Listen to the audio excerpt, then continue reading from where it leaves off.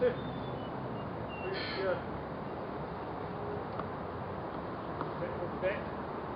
Alright boys.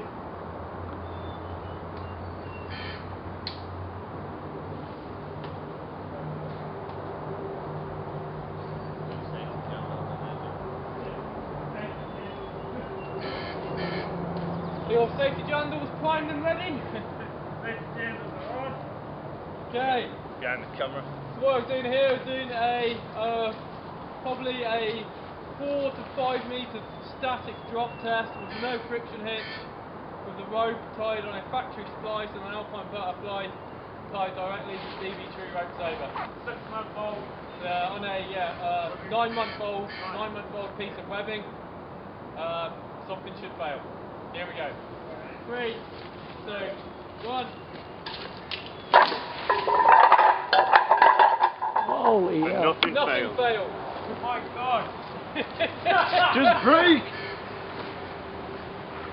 Do you trust my splices?